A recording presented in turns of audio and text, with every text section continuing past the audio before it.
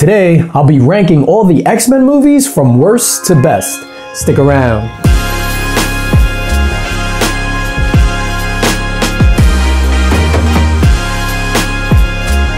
DJ Linx is in the building. What's going on everybody? It's your boy DJ Linx back in the building, back in effect, Linx. and back with another video. And today I'll be ranking all the X-Men movies from worst to best. And when I say X-Men movies, I mean all the X-Men movies and the Wolverine movies. I'm specifically gonna leave out Deadpool 1 and 2 because I think that's its own thing. And I'm gonna be honest, I've never seen the New Mutant, so that's being left off. So this is gonna be the 10 X-Men slash Wolverine movies. Let's go. Number 10.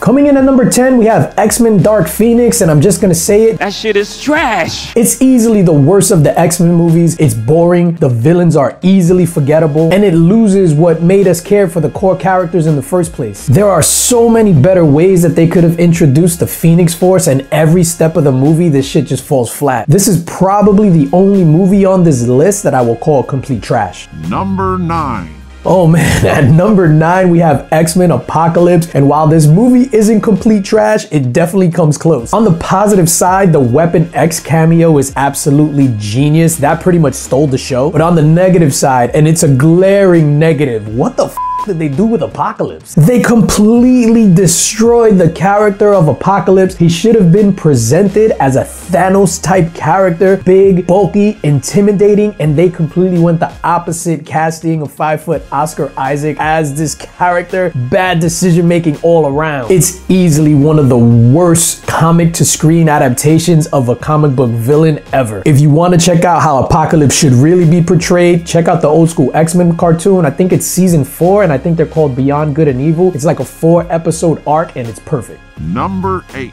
At number eight, we have X-Men The Last Stand, and this falls victim to just having too many damn characters. Most of the new character introductions are lame, except for Beast. Like whoever hired or cast Kelsey Grammer as Beast, that was perfection. Shout out to you. But all the other new characters are pretty damn lame. This flick isn't bad per se, but it's definitely not good. I'm glad they were able to do the Juggernaut justice in Deadpool 2, because Vinnie Jones just wasn't it. I'm the juggernaut, bitch! Number 7.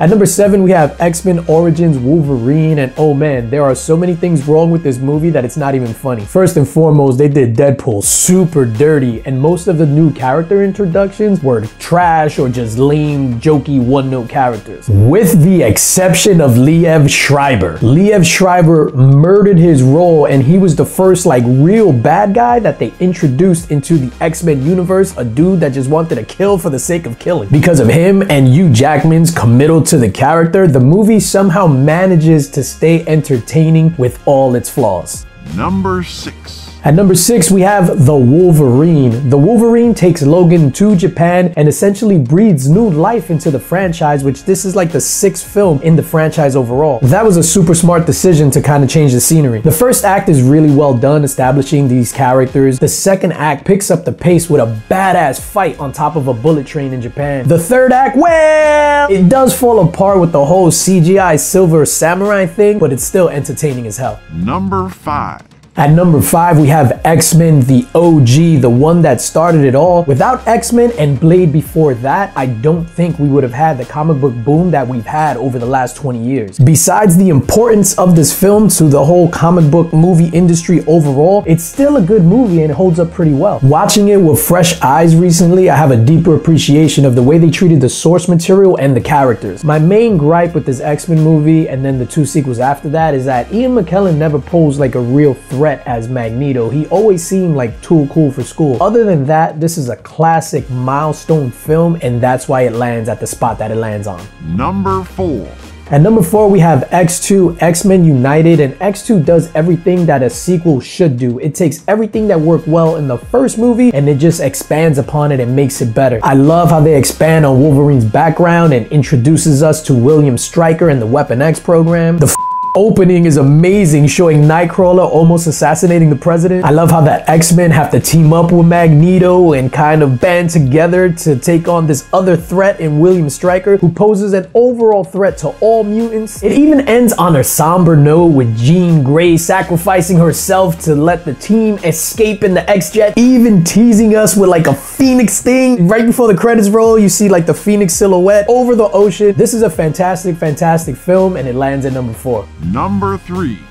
At number three, we have X-Men First Class. And even though X-Men First Class is at number three, the top three films on this list are basically interchangeable depending on the mood that I'm in. All three of these next films are top tier, but X-Men First Class is the one that surprised me the most. I had zero expectations going into this prequel, and boy, was I pleasantly surprised. It being a period piece and chock full of cheese actually worked in the film's favor. They used a whole 60s background to their advantage. James McAvoy was a great young Professor X and Kevin Bacon killed it as Sebastian Shaw. But the real star, easily my favorite casting out of the entire X-Men universe is Michael Fassbender. Fassbender? Fassbender? Fassbender? Fassbender? Fassbender? Michael Fassbender as the young Magneto. He absolutely murders it, bringing a sympathetic quality to the character that we don't see out of all the other characters in this universe. Easily my favorite scene in this film and possibly my favorite scene from any X-Men film is when young Magneto at the end like sends the Nazi coin right through Sebastian Shaw's forehead, killing him in slow-mo. Ah, that is so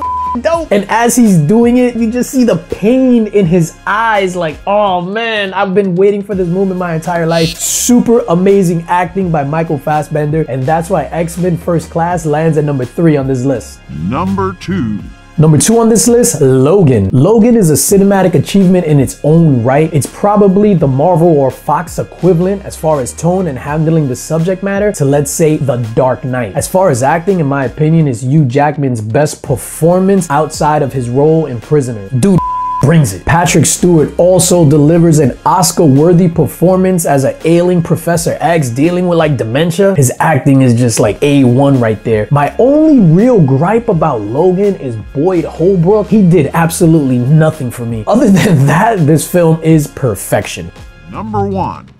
At number one on this list, we have X-Men Days of Future Past. Days of Future Past for me is the pinnacle out of all the X-Men movies. For me, it's the 90s cartoon come to life. All of the characters are handled brilliantly. The time travel aspect to the film is done phenomenally. Everything just strikes the right tone. The meeting of Patrick Stewart and James McAvoy on screen at the same time felt like a big deal. And watching it recently, I was just like, oh shit, like this is super super dope. And you gotta remember, this was done before all the multiverse stuff that Marvel and Disney are doing now. So this was crazy when it dropped. Of course, the one that steals the show is Evan Peters' Quicksilver. Oh man, that slow-mo scene is epic as they break Magneto out of his prison. Very, very well done. My only real gripe with this film, I feel that Peter Dinklage was miscast as Bolivar Trask, and I'll tell you why. I feel that his character, facing his own challenges as a little person, would have some semblance of sympathy for the mutants because they both represent oppressed groups. So that was a miss for me. Other than that, I feel that X-Men Days of Future Past is one of the top 10 comic book movies of all time. So that's my list. All the X-Men